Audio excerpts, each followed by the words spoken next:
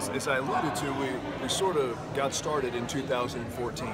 So it's been, you know, we're in 2017, so it's obviously been a little over two years that this has been in conversation. But um, the process was um, important for us uh, to be able to have funding for the capital projects we have in place. The, the, the overarching piece in, in, a lot of the things that we do, um, as mandated by the university and the president and the board of trustees, is that we are self-sustaining. We generate our own our own way.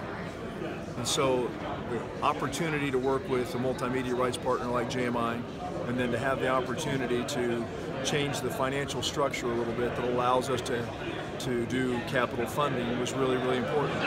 But that doesn't come without, uh, you know, you've got to do some things to, to help them. So they've got to find a way to generate those revenues back. And so they did. You know, they, they came in and they said, would you be open to these pieces of the, of the puzzle? And certainly we were. I mean, the, the, landscape of what we do is forever changing. And um, to find a partner that is as deeply rooted in our state as Kroger is and uh, had an initiative that, that wanted to reach other areas of just putting a name on a field. And, and Paul hit it on the head uh, when he said, they haven't talked about hospitality, they haven't talked about tickets, they've talked about how can we impact Kentucky. And that was really, really important for us. And so from, from a very selfish perspective, um, it's really cool to have official fuel partners and official training table partners and nutrition partners, and those things are really cool. What's really cool is the fact that they're going to impact the fields that these young people play in and the things they're doing across the state for the entire uh, time, that the grants that they're going to put in place to renovate fields and create places for young people to play ball and give us a chance to bring the new student athlete of the future into our program, I like that a lot. It's really neat. And so I'm thankful that they they thought bigger than just a stadium. Were, were other bids part of the process as far as other potential sponsors, or were you always zeroed in on Kroger? Yeah, and I would defer to Paul a little bit on that. I think that that's sort of that we, we give those opportunities and those rights to them, and so it's I'm not so sure it's a bid process as, as much as a conversation. And who is in those conversations? I think that would be more for Paul and his team to be able to answer that. Um, but uh, we give them that opportunity to say, but but we have the ability to say at the end of the day, we, we don't feel like that's a good fit for, for the university. And so, and I would never want to go to the doc, Dr. Capilouto and say, hey, we, we think that, and it, it, not be the right fit for Kentucky. So um, we feel like this is a great fit, and uh, the, the, people of the state. Um, are deserving of something that is that is helpful and impactful in more of the ways than just a name.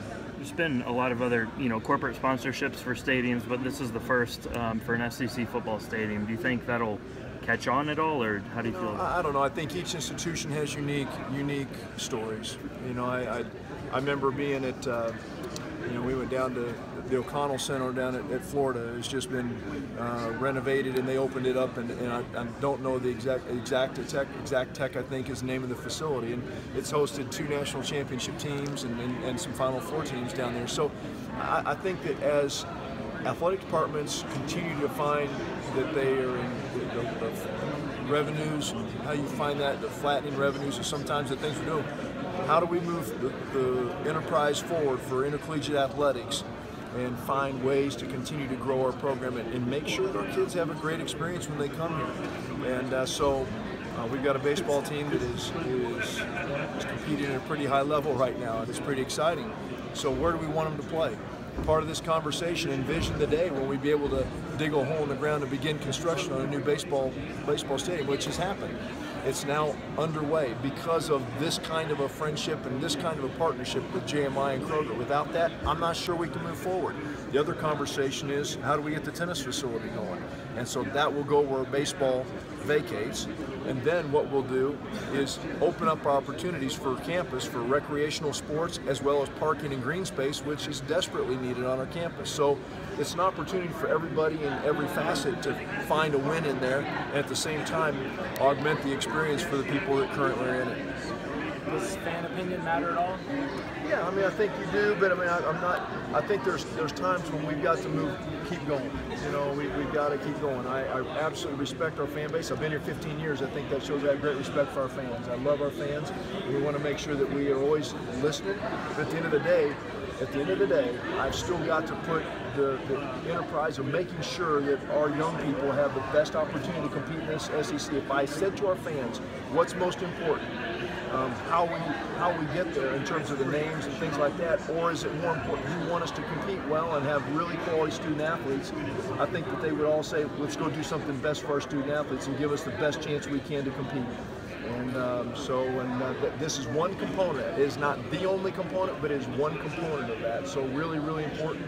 And uh, again, the landscape continues to change in what we do, and and uh, you don't find people like Calvin and uh, people at Kroger that really want to invest in the infrastructure, not just the name. When, you all announced the new Rupp lease uh, a couple months ago, you were clear that that name was going to stay the same. Why, why football and, and, and, not Rupp? Why, why go this route? The Rupp, the Rupp name is an iconic name in, in terms of, of, what it means to, inter, to, to, college basketball and what it means to this program. And, and um, it is, uh, in terms of, of, what we do in recruiting and the people we bring into our program, I think when you say Rupp Arena, it has a special feel to it that, that uh, I just don't think you can you, I know you, we're not going to mess with that. So that is something that is so important to us in the athletic departments.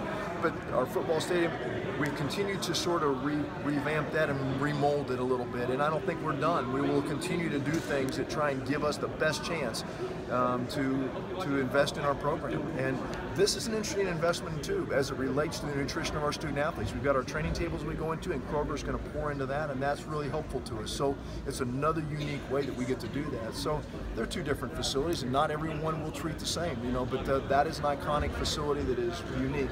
We're trying to make our stadium an iconic facility, and we're not there yet. Hopefully, Kroger Field will become an iconic facility, but it's we're not there yet. We got to continue to go that. And I thank them for having a little vision to be able to look at that and say, "Yep, it's got possibilities with what Coach Stoops is doing, the way we're recruiting, the way we play.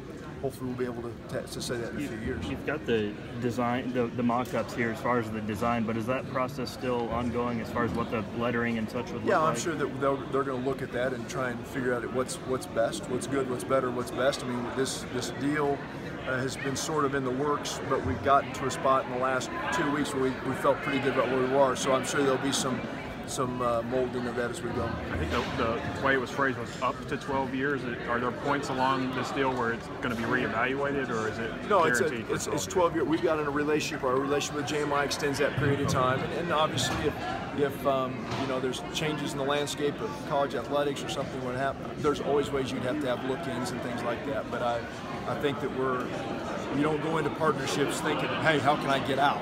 You look at partnerships, how can I stay invested and be together forever? So that's what we, we're going into it in just that fashion. Thanks, Mitch.